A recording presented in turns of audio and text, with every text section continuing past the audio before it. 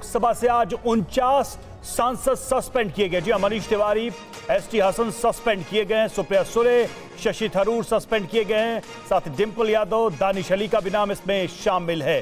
तो आज सस्पेंशन हुआ है और उनचास सांसद सस्पेंड किए गए हैं।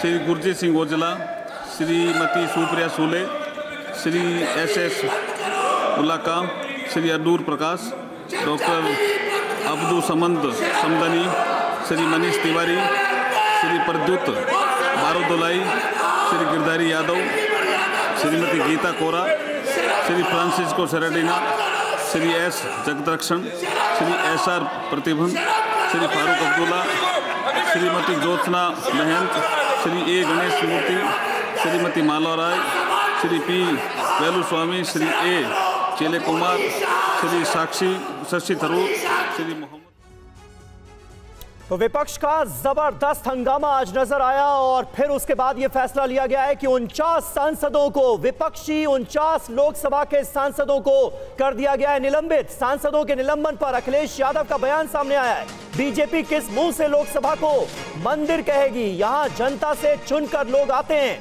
सहमति, असहमतियाँ हो सकती हैं। हमें अधिकार है कि हम सही बात करें। ये कहा है अखिलेश यादव ने आज उनचास सांसदों के निलंबन के बाद, सुनिए।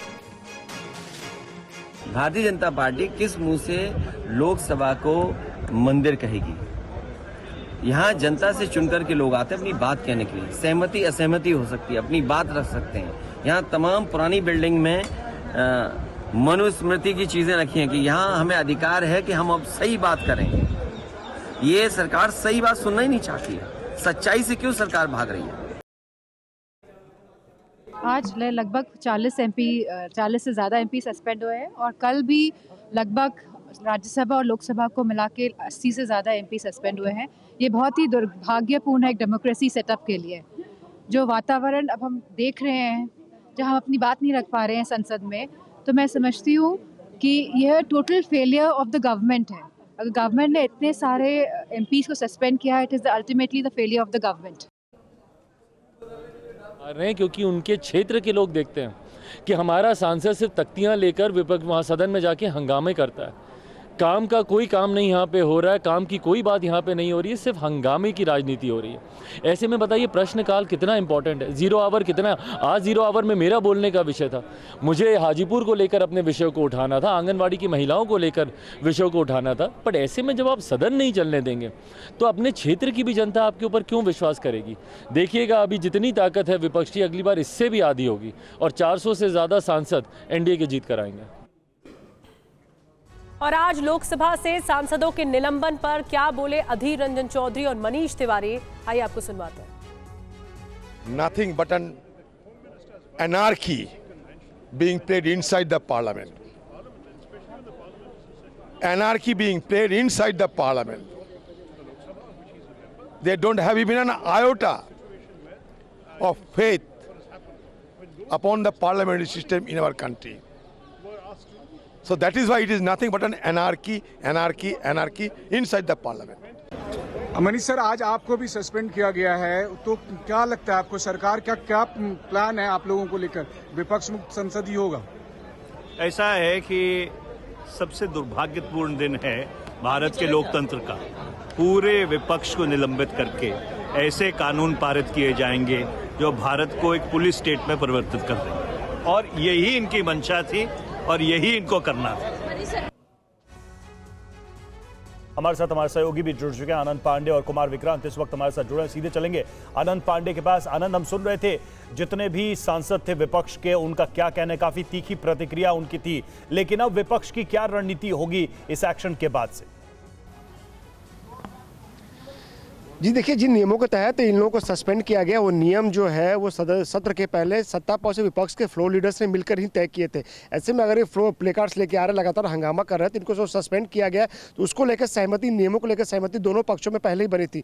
और ऐसे में रही बात इन सस्पेंडेड सांसदों के आगे की रणनीति की तो लगातार ये लोग गांधी मूर्ति पर और साथ ही साथ नई संसद का जो मकर द्वार है, उसके स्टेयर्स पर लगातार ये लोग प्रोटेस्ट कर रहे हैं। इन सांसदों का कहना है कि आगे भी हम लोग ऐसे ही प्रोटेस्ट करते रहेंगे और बार बार सरकार पर आरोप लगा रहे हैं। विपक्ष का ये कहना है कि हम सरकार से यही चाहते हैं कि गृह मंत्री सदन में आकर जो संसद भवन में जो सुरक्षा चूक हुई है उसको लेकर जवाब दे। लेकिन सरकार का कहना है कि स्पीकर चूँकि संसद के कस्टोडियन होते हैं तो स्पीकर ने सदन में बयान दे दिया है और जाँच हो रही है तो उसका इंतज़ार किया जाना चाहिए। लेकिन विपक्ष जो है उतने भर से संतुष्ट नहीं है। और यही वजह है कि आज उनचास लोकसभा के सांसदों को सस्पेंड किया गया और इस सत्र में अगर लोकसभा के सस्पेंडेड सांसदों को जोड़ लिया जाए तो अब तक इस सत्र में पंचानवे लोकसभा के सांसद सस्पेंड हो चुके हैं। और उसमें अगर राज्यसभा के सांसदों को भी जोड़ लिया जाए जिसको सस्पेंड किया गया तो इस सत्र में अब तक कुल मिलाकर लोकसभा और राज्यसभा के एक सांसदों को सस्पेंड किया जा चुका है जो अब तक का शायद संसदीय इतिहास में पहली बार होगा जब इतने सांसदों को सस्पेंड किया गया बिल्कुल और इस सस्पेंशन को लेकर के विपक्षी पार्टियाँ लगातार सत्ता पक्ष पर हमलावर भी है। सुप्रिया सुले ने क्या कहा है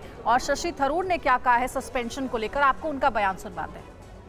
That's right. So they've suspended another 42 people today.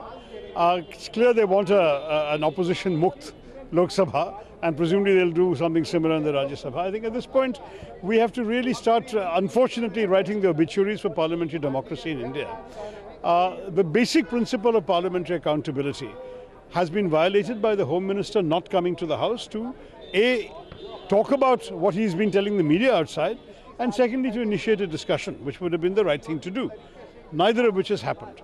Then, when opposition protested that, demanding it, they were suspended.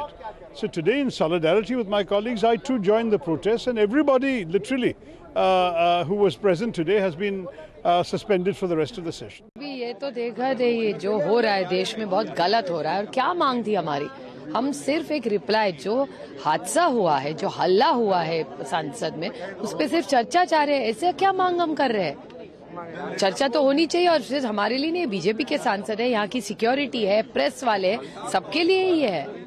ये कि सिर्फ़ सांसदों की सिक्योरिटी के लिए नहीं था ये। बहुत महत्वपूर्ण मामला है लेकिन सरकार चर्चा नहीं करना चाहिए भाग रही है। अभी देखते हैं आज चर्चा होगी। तो इस बीच आपको बता दें कि दानिश अली कुछ कह रहे हैं सुनवाते देखिए बड़ा अजीब है कि सभापति जी कहते हैं कि आपने संसद की मर्यादा भंग करी, इसलिए आपको सस्पेंड किया जा रहा है। ये कौन सी परिभाषा में सरकार से सवाल पूछना संसद की मर्यादा भंग होती है? संसद की मर्यादा, जब संसद में गालियाँ दी जाती हैं, तब संसद की मर्यादा भंग नहीं हुई। उस सांसद को आज तक ना सस्पेंड किया गया, ना कोई कार्रवाई की गई। लेकिन जब बीजेपी के सांसद के पास पर संसद पे हमला करने वालों को लाया जाता है, उस सांसद के खिलाफ कोई कार्रवाई नहीं। दानिश अली को आप सुन रहे थे, एक तरफा कार्रवाई की गई है। ये आरोप सभी सस्पेंडेड सांसदों की तरफ़ से लगाया जा रहा है। आज जिन सांसदों को लोकसभा के उनचास सांसदों को सस्पेंड किया गया है, उसमें कई बड़े नाम हैं। वो अब हम आपको दिखा रहे हैं। आज 10 बड़े सांसद भी निलंबित किए गए हैं। कांग्रेस के मनीष तिवारी, शशि थरूर, नेशनल कॉन्फ्रेंस के फारूक अब्दुल्ला का नाम भी इसमें शामिल है। कुल उनचास सांसदों को सस्पेंड किया गया है। और अगर आज और कल के सस्पेंशन को मिलाकर देखा जाए तो भारत के संसदीय इतिहास का यह सबसे बड़ा निलंबन है। 141 सांसदों को अब तक निलंबित किया जा चुका है लोकसभा और राज्यसभा को अगर हम मिलाकर देखें तो यह आंकड़ा 141 तक पहुँचता है। कुमार विक्रांत हमारे सहयोगी इस वक्त हमारे साथ मौजूद हैं। कुमार आक्रामक नज़र आ रहा है, विपक्ष आरोप यह लगाया जा रहा है कि तानाशाही वाली हरकतें की जा रही हैं और संसद की गरिमा को खत्म करने की कोशिश की जा रही है। यह तक कह रहे हैं सांसद, जो ऑपोजिशन है, जो इंडिया गठबंधन है, उसके तमाम नेताओं का क्या रुख नज़र आ रहा है? आगे क्या होता देख रहे हैं आप? ये देखिए, अब से चंद महीने पहले या कहें कि पाँच राज्यों के जो नतीजे आए, उसमें चार राज्यों में कांग्रेस को मूर्ति खानी पड़ी और जिस तरीके से इंडिया गठबंधन के बीच अरविंद केजरीवाल ममता बनर्जी अखिलेश यादव और कांग्रेस के बीच विवाद हुआ, अखिलेश अखिलेश और चिरकुट जैसे शब्द सामने आए और उसके बाद जिस तरीके से संसद में जो कार्रवाई हुई है विपक्ष के सांसदों के खिलाफ विपक्षी नेताओं को लगता है कि ये वो मौका है कि ये वो फेविकॉल का काम करे और हम सब एकजुट होकर 2024 की लड़ाई पिछली बातों को भूल करके एक बार आगे बढ़ें। और कांग्रेस के सूत्र भी यही कह रहे हैं कि जो बैठक शाम को होगी उसमें जो ये हो रहा है संसद में ये फेविकॉल का काम करेगा। और कांग्रेस के सूत्रों का कहना है कि वो लचीला रुख अपनाएगी सीट शेयरिंग को लेकर। और तीन बातें मैं आपको बड़ी अहम बता दूँ जो कि आज बैठक में होने वाली हैं। पहला ये कि कांग्रेस 200 से 250 सीटें उसको देने को तैयार हैं अपोजिशन जबकि कांग्रेस 300 सीटों पर लड़ना चाहती है लेकिन एक बात पर सहमति बनने की संभावना है कि 400 से साढ़े चार सीटों पर बीजेपी के खिलाफ इंडिया गठबंधन का एक तो उम्मीदवार हो। पहली बात रणनीति बनाएगा इंडिया अलायंस की इस बैठक के ज़रिए। कुमार विक्रांत आएँगे आपके पास। जो निलंबन हुआ है सांसदों का क्योंकि तीन दिन में तीन सेशन में 141 सांसदों का निलंबन। इस पर हरसिमरत कौर क्या कह रही हैं? आपको सुनवाते हैं। मेरे पास तो कोई शब्द नहीं है। क्या सोच के ये नया संसद बनाया, जे इसको लोकतंत्र का कब्रिस्तान बनाना है? जो पार्टी खुद कहती थी, जेटली जी, सुषमा जी खुद कहते थे कि disruption is a part of dissent अब जब कुछ चीज़ की चर्चा करना चाहते हैं और सुनवाई नहीं कर रही है सत्ता पक्ष तो फिर शोर मचाने के अलावा हल क्या है? अब आपने सारे विपक्ष को निकाल के बाहर फेंक दिया। जिस एमपी के कर के पासेज मिले थे, उस एमपी के खिलाफ कोई कार्रवाई नहीं हुई। और ये एक क्या नया एक रूल सेट का, एक नया मुकाम सेट किया जा रहा है कि इस नई पार्लियामेंट में सिर्फ़ नींद की गोली खा के आ जाओ सुबह, क्योंकि मुँह नहीं खोलना है, कान, आँख कुछ नहीं खोला, सवाल कुछ नहीं पूछना है। विपक्ष का काम क्या है? सवाल पूछना। अब सवाल पूछेंगे तो बाहर फेंक दिए जाएँगे। मैं तो हैरान हूँ, ये लोकतंत्र में क्या हो रहा है, बहुत दुख की बात है। और वहीं टीएमसी सांसद ने सभापति की मिमिक्री की, राहुल के सामने सभापति का मज़ाक उड़ाया टीएमसी सांसद कल्याण बैनर्जी ने मिमिक्री की।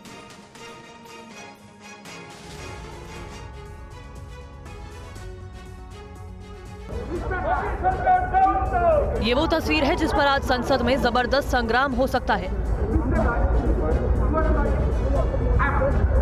वीडियो में दिख रहा है कि टीएमसी सांसद कल्याण बनर्जी राज्यसभा सभापति जगदीप धनखड़ की मिमिक्री कर रहे हैं। इस दौरान बाकी सांसदों के अलावा राहुल गांधी भी मौके पर मौजूद रहे। राहुल के हाथ में फ़ोन भी दिखाई दे रहा है, जिससे लग रहा है कि वो सभापति की नकल करने वाले कल्याण बनर्जी की वीडियो बना रहे हैं। अब बीजेपी इस पूरे मामले को लेकर हमलावर हो गई है। जिस ढंग से वो कर रहे हैं नौटंकी करने की उनकी आदत और नौटंकी करके ही वो राजनीति में आए हैं। इसीलिए वो कर रहे हैं ये सदन का अपमान। है वहीं कांग्रेस नेता आचार्य प्रमोद कृष्णम ने ट्वीट किया कि संसद को सड़क छाप बनाने वालों को देश माफ़ नहीं करेगा। उपराष्ट्रपति का मखौल उड़ाना बेहद दुर्भाग्यपूर्ण और लोकतंत्र का मज़ाक है। एक और अहम खबर है सदन में बोले सभापति धनखड़ मज़ाक उड़ाना शर्मनाक है। ऐसी हरकत स्वीकार नहीं है। जगदीप धनखड़ ने बयान दिया है और कहा है कि इस तरीके से मज़ाक उड़ाना शर्मनाक है। गिरावट की कोई हद नहीं है। गिरावट की कोई हद नहीं है। आपके एक बड़े नेता, एक सांसद के असंसदीय व्यवहार को वीडियो कर रहे थे। आपसे भी बहुत बड़े नेता हैं वो। मैं तो यही कह सकता हूँ सदबुद्धि आई। कुछ तो सीमा होती होगी। कुछ जगह तो बख्शो। कुछ जगह तो बख्शो। Office of chairman Rajya Sabha and office of speaker is very different political parties will have their cross currents there will have exchanges but but imagine a senior leader of your party videographing another member of another party mimicry of the chairman, mimicry of speaker, how ridiculous, how shameful, how unacceptable. निलंबित सांसदों के मुद्दे पर लोकसभा में आज भी जोरदार हंगामा हुआ स्पीकर ओम बिरला ने कहा कि आसन के करीब सांसदों का आना सही नहीं है सदन नियम और मर्यादा से चलेगा मान्य सदस्यगण, ये सदन आपका है। और इस सदन को चलाने के लिए आपने कुछ व्यवस्थाएँ बनाई है, कुछ नियम बनाए कुछ परंपराएँ बनाई है। और ये देश का सबसे सर्वोच्च सदन है। मेरा आग्रह आपसे कि आप चर्चा करें, संवाद करें। ये तख्तियाँ लेकर सदन में मर्यादित आचरण नहीं है। और हम सबने भी तय किया था, सामूहिक रूप से निर्णय हुआ था कि हम तख्तियाँ लेकर नहीं आएँगे। फिर मैं आपसे आग्रह कर रहा हूँ, आप अपनी अपनी सीट पर जाकर बैठें। प्रश्नकाल महत्वपूर्ण समय होता है। हर विषय पर, हर महत्वपूर्ण मुद्दों पर आपको चर्चा करने का अवसर दिया जाएगा। ये सदन आपका है। सदन की मर्यादा बनाना है। हम सबकी सामूहिक ज़िम्मेदारी है। और सदन हमेशा नियमों, परपायों, परंपरा प्रपाटियों से चलता है। तो सत्ता पक्ष और विपक्ष के बीच ज़बरदस्त गतिरोध नज़र आ रहा है। निलंबन के बाद संसद परिसर में तमाम सांसद धरने पर बैठे हुए हैं और आज कांग्रेस नेता राहुल गांधी उनसे मिलने पहुँचे। विपक्ष ने सरकार पर मनमानी करने का आरोप लगाया। लोकसभा और राज्यसभा के सांसदों के निलंबन पर सियासी घमासान तेज है। आज सांसदों के निलंबन और संसद सुरक्षा चूक के मामले पर राहुल गांधी, मल्लिकार्जुन खड़गे और शरद पवार समेत तमाम विपक्षी सांसदों ने गांधी प्रतिमा के सामने विरोध प्रदर्शन किया। इस बीच निलंबित सांसदों ने सदन में सरकार पर तानाशाही करने के आरोप लगाए। वहीं मल्लिकार्जुन खड़गे ने कहा की देश के इतिहास में पहली बार इतने सांसदों को निलंबित किया गया है। सरकार अब लोगों को डराकर लोकतंत्र खत्म करना चाहती है। और आज तक ये देश के इतिहास में पहली बार है कि आज कितने लोगों को उन्होंने सस्पेंड किया।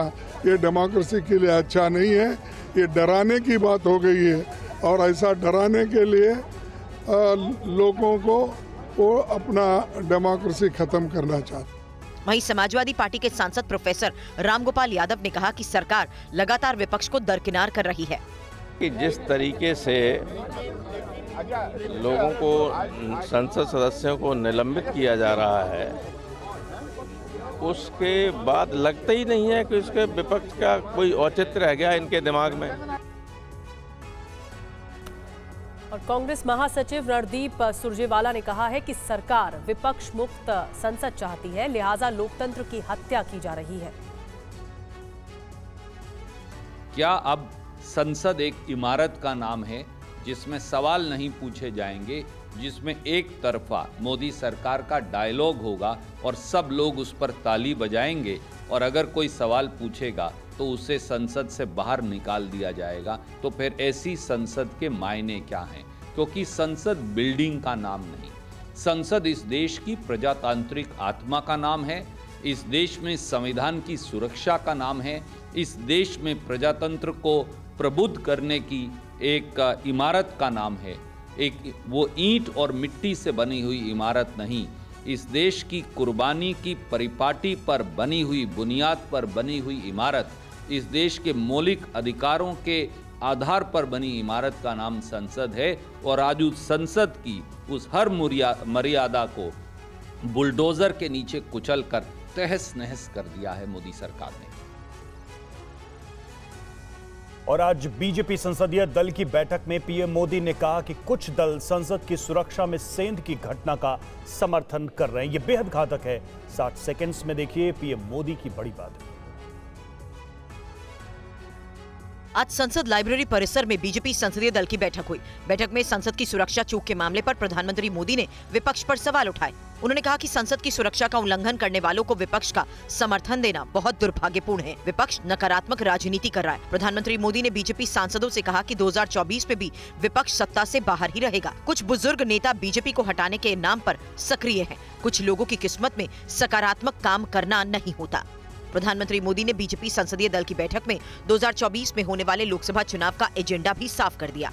सूत्रों के मुताबिक उन्होंने कहा कि नए मतदाता जो 18 वर्ष के हो गए हैं, जब हम 2014 में आए थे तो वो 8 वर्ष के थे। उन्होंने घोटालों का युग नहीं देखा होगा। ऐसे में जो नए मतदाता विकास देख रहे हैं, उन्हें भी जागरूक करने की ज़रूरत है।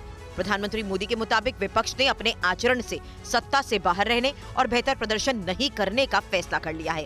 प्रधानमंत्री ने विपक्ष पर तंज कसते हुए कहा कि बीजेपी संसदीय दल की इस मीटिंग हॉल में अभी जो जगह खाली है, ऐसा लगता है अगली बार ये जगह भी भर जाएगी।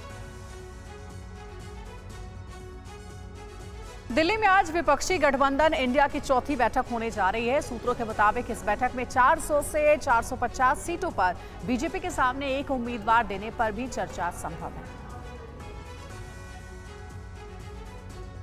आज दिल्ली के अशोका होटल में तीन बजे होने वाली इंडी अलायंस की बैठक में लोकसभा चुनाव की रणनीति तैयार होगी। मध्य प्रदेश, छत्तीसगढ़ और राजस्थान के नतीजों ने भी इंडिया अलायंस को नए सिरे से सोचने पर मजबूर कर दिया है। ऐसे में आज की बैठक में 27 विपक्षी दलों में सीट बंटवारे पर मतभेद और बढ़ सकते हैं। तमाम अटकलों के बीच ये भी जान लीजिए कि आज की बैठक में इंडी गठबंधन का मुख्य एजेंडा क्या होगा। इंडी गठबंधन की बैठक में आज 27 विपक्षी दलों के प्रमुख नेता सीट बंटवारे का फाइनल मसौदा तैयार करेंगे। आज की बैठक में राज्यवार सीट शेयरिंग के फॉर्मूले पर चर्चा होगी।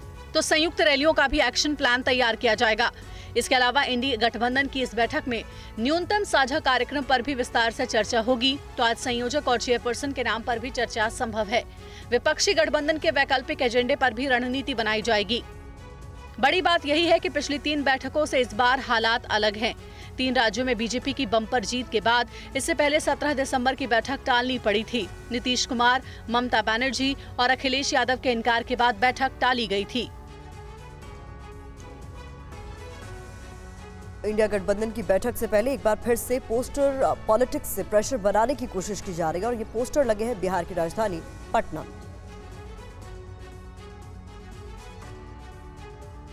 पटना की सड़कों पर ये पोस्टर नीतीश कुमार के समर्थकों ने लगाए हैं। पोस्टर पर देखा जा सकता है कि नीतीश को जीत की गारंटी के तौर पर दिखाया गया है। और लिखा है, अगर सच में जीत चाहिए तो फिर एक निश्चय चाहिए, एक नीतीश चाहिए। हालाँकि नीतीश इसी महीने की छह तारीख को गठबंधन की मीटिंग के सवाल के दौरान ये कह चुके हैं कि उन्हें कुछ नहीं चाहिए। बिना मतलब के मेरे बारे में आता है कि हम चाहते हमको कुछ नहीं चाहिए। अब ऐसे में पोस्टर में ये कहा जा रहा है कि अगर सच में जीत चाहिए तो फिर एक निश्चय चाहिए एक नीतीश चाहिए। वही नीतीश कह रहे हैं कि उन्हें कुछ नहीं चाहिए। वैसे जब कल लालू प्रसाद यादव नीतीश के साथ डिप्टी सीएम तेजस्वी यादव दिल्ली पहुँचे तो उनसे भी नीतीश को लेकर सवाल किए गए। तेजस्वी जी नीतीश कुमार की भूमिका इंडिया गठबंधन में क्या होगी? कैसे देखते हैं आप नीतीश कुमार की भूमिका? इंडिया आप भूमिका सबकी एक ही है और सबका एक ही मकसद है। कि फिरकाप्रस्त शक्तियों को हम लोग जो है सत्ता से बेदखल इन लोगों को करें।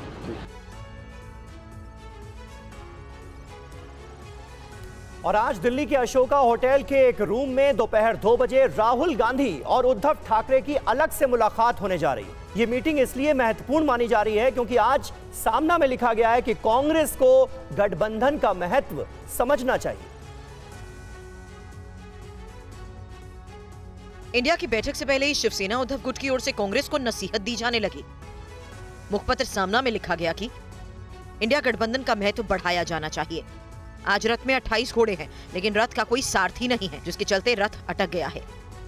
दिल्ली में सिर्फ़ इकट्ठा होना, दोपहर का भोजन करना और सबके हाथ पहुंचकर चले जाने की व्यवस्था में अब सुधार होना चाहिए।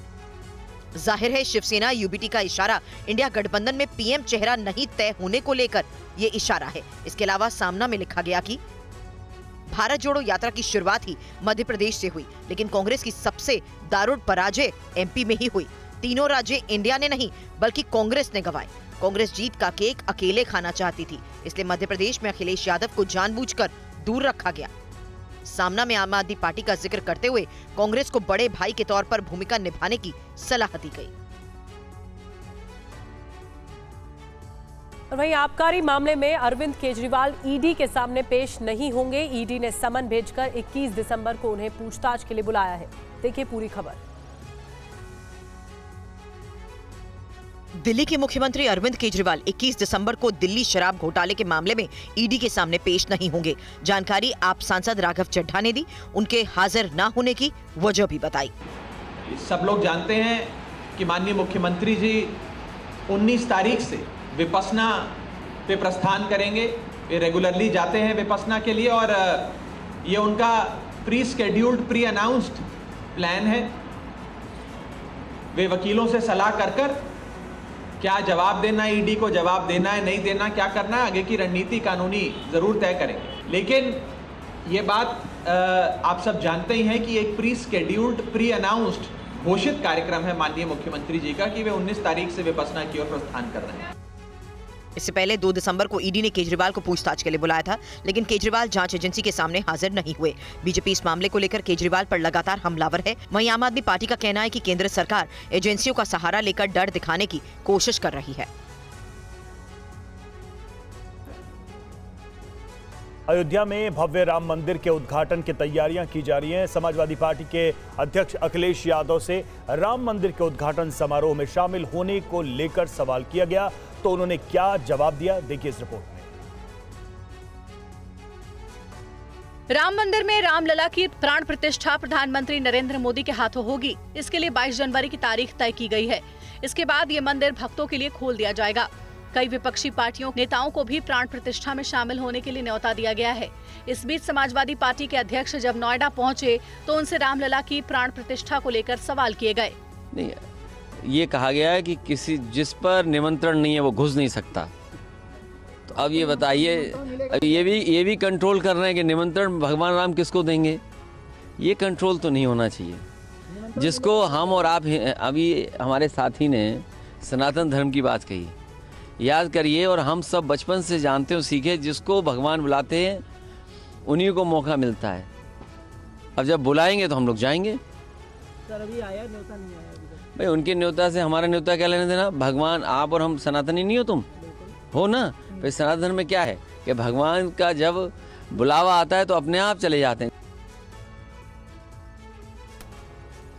और एक बड़ी खबर है, Gyanvapi places of worship act लागू नहीं। हिंदू पक्ष की याचिकाओं पर सुनवाई होगी। ज्ञानवापी में पूजा के अधिकार का केस चलेगा। मुस्लिम पक्ष की सभी पाँच याचिकाएँ हाईकोर्ट से खारिज कर दी गई हैं।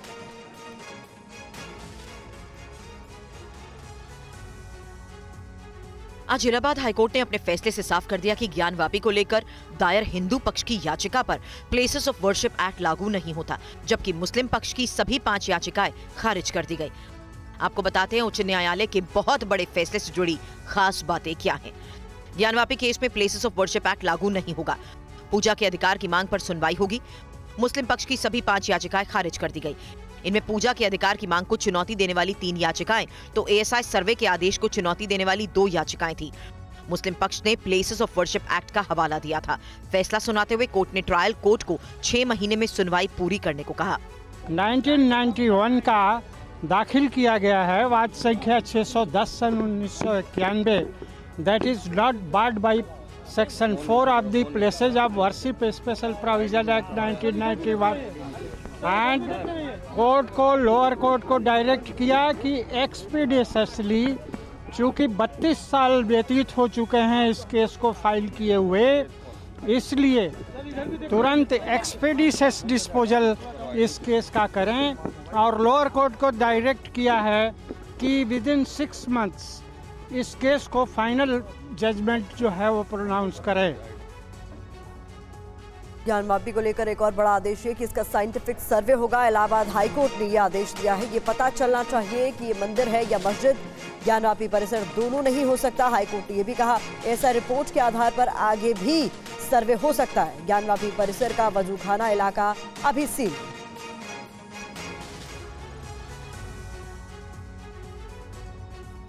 इलाहाबाद हाईकोर्ट ने अपने आदेश में जो अहम बातें कही, वो इस तरह है कि किसी धार्मिक स्थल का एक ही कैरेक्टर हो सकता है।